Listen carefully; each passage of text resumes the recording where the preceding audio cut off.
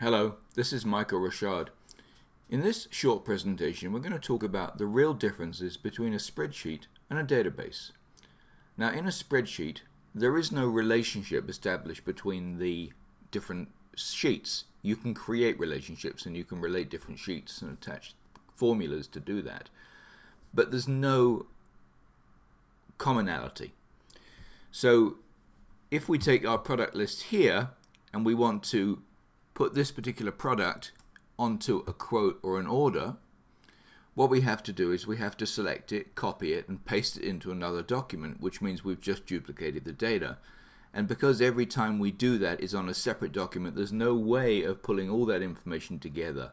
And this is a fundamental flaw with spreadsheets, that you have a multiplicity of documents, sometimes thousands of them. They've all got to be filed and categorized properly in order that you can actually find them but also, there's no way of using the information in there because you've just got it everywhere.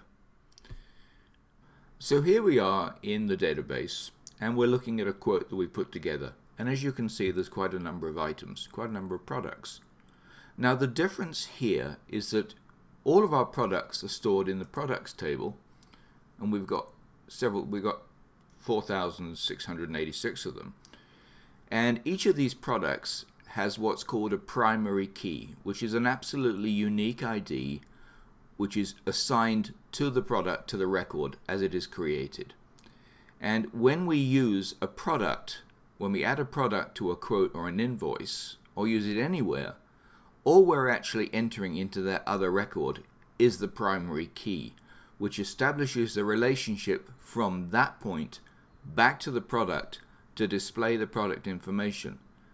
Now, yes, on a quote or invoice, it will copy the current price into the quote or invoice because that price needs to be fixed at that time and not be changed if at some point the price changes. But remember, all we're storing in other tables is the product ID. And this allows us to be able to have the program keep track of the usage of each individual product, both in terms of number of times it's been sold or used and the total value of those orders. So let's go back to our quote. Now, in the quote itself, we've got the company. And if we click here, we can edit that information. But we're not storing this information in the quote.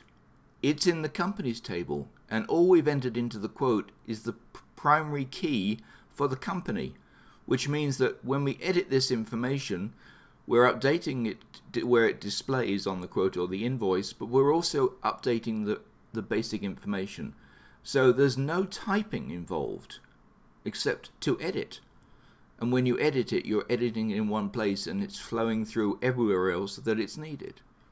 So this is a true difference. And also within the database, all of our quotes, all of our orders, all of our products, all of our customers, they're all stored within one central file and they're all talking to one another via those relationships. When we click on add items and we select an item here and click on it, as I mentioned before, all we're actually entering is the primary key, one single short field of information. So there's no duplication of data anywhere. And once you've entered a product or a person, you never have to enter them, type them in again twice. Whereas within a spreadsheet, you are constantly typing, constantly copying and pasting. And that's a major disadvantage. This is Michael Rocharde. I hope you found this interesting. Bye-bye.